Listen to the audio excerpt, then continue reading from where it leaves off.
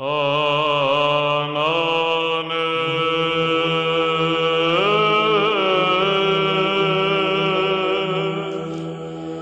there! Today we're going to talk about this pen. And this pen is a Montblanc and it is a vintage Montblanc. In fact, it is a Montblanc 344. Now before I continue, I got this pre-owned because it's vintage. Um, I thought you might be interested in a size comparison. So it's of this is my fifth Montblanc and of my Montblancs it's closest I found to the Montblanc 22 so here we have the 22 here we have the new 344 uh, it is a little smaller than a Montblanc 220 which I got here.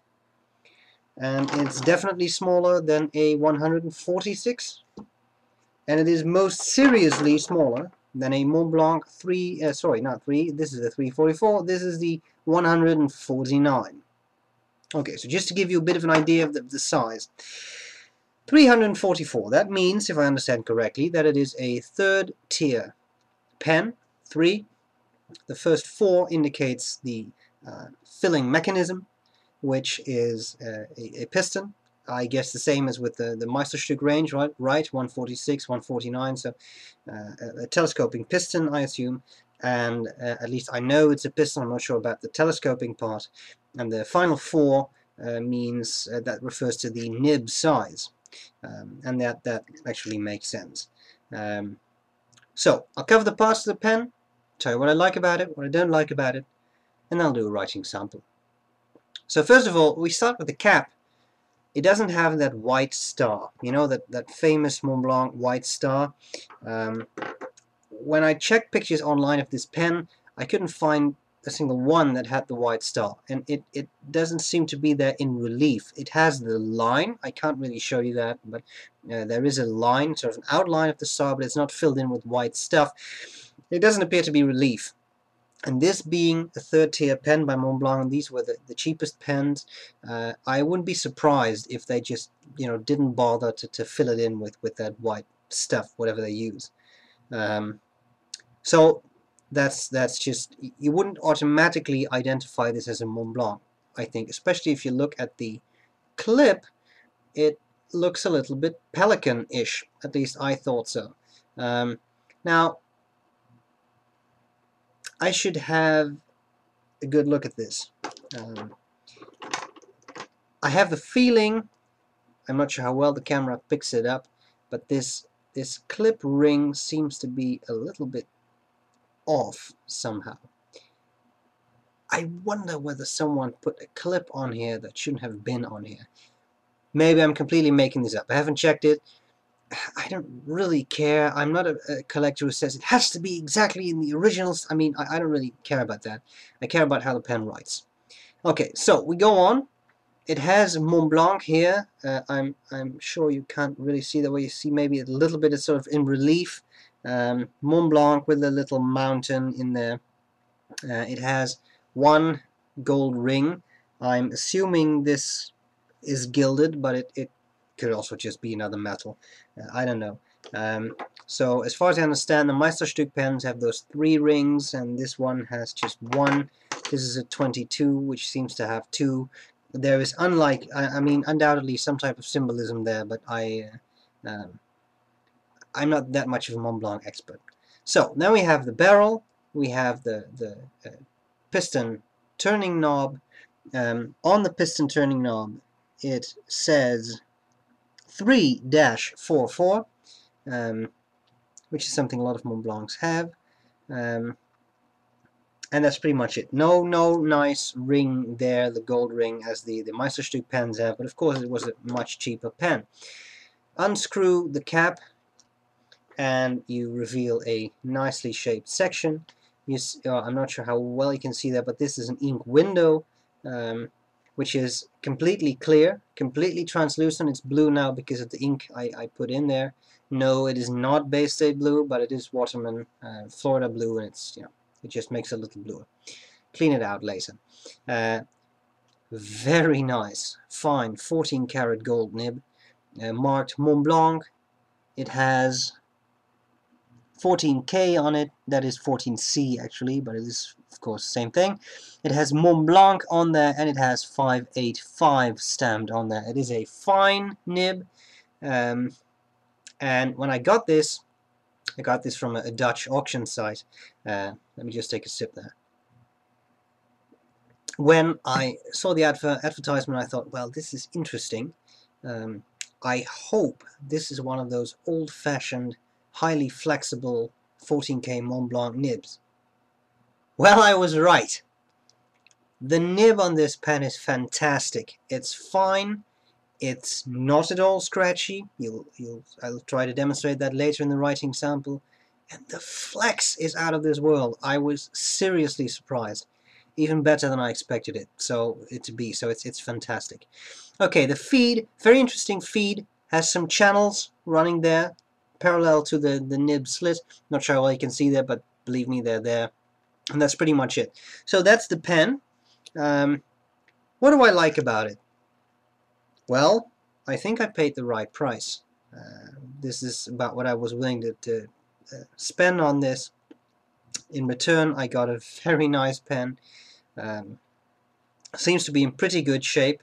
Uh, there is a seems to be a I don't know some kind of I'm not sure whether it's really brassing, but there's something going on with the clip. I'll just give it a, a careful rub with one of those jeweler's cloths, see if I can make it shine a little bit more.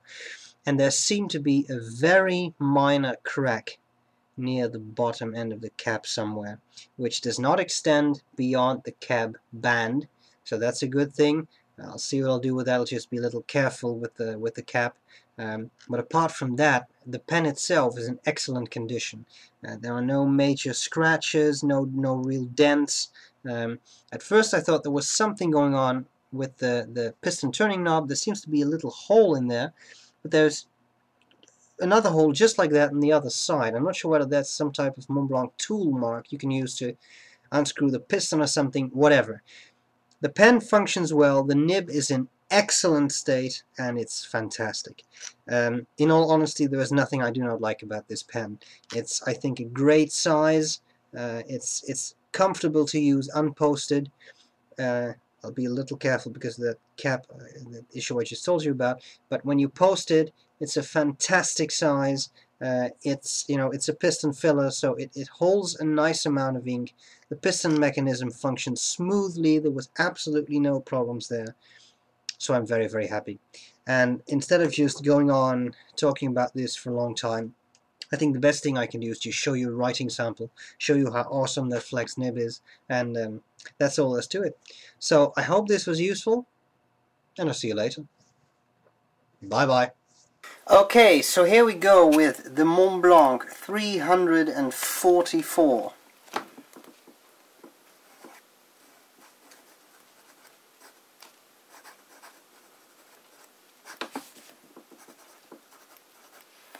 Uh, we have here a fine nib, the ink is Waterman. Tif Caf, the ink formerly known as Florida, now known as Serenité. Let's do a bit of writing.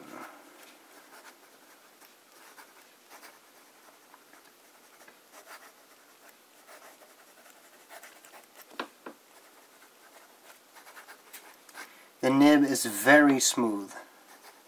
Uh, I was surprised.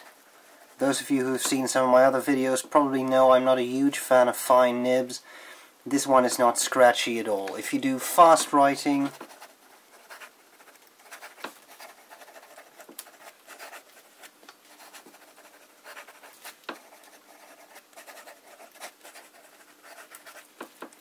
You see the pen performs very well. There was a bit of a skip there, but that may well have been me misaligning the nib and the paper. Um, no real dryness. It's a fairly wet pen. Um, so that's I, you know, just the way I love it. Now, all of that is great, but where this nib, you know, what makes it really special is its flexibility. So I'll, I'll start with just drawing some lines. I'll start with no pressure, then add more pressure as we go.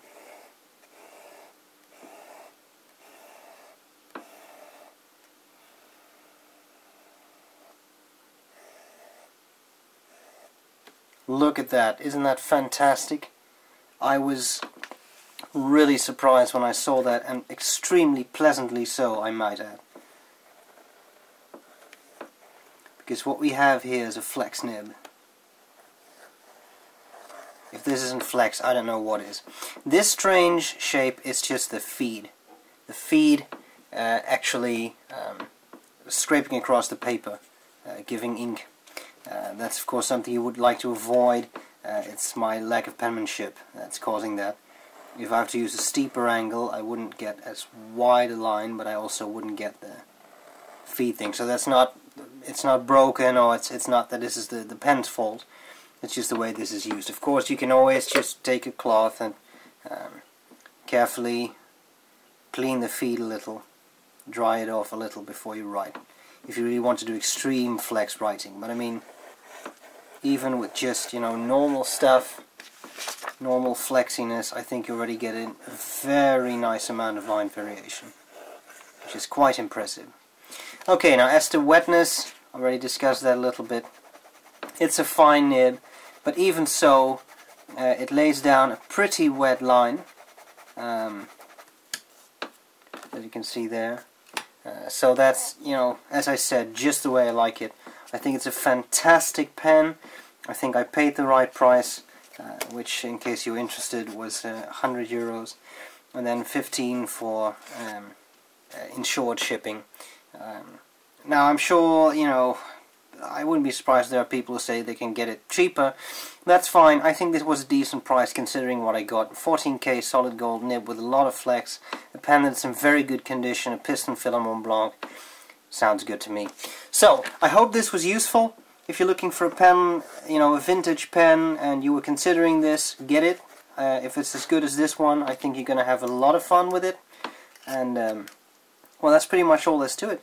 So, I hope this was useful, and um, I'll see you later. Bye-bye.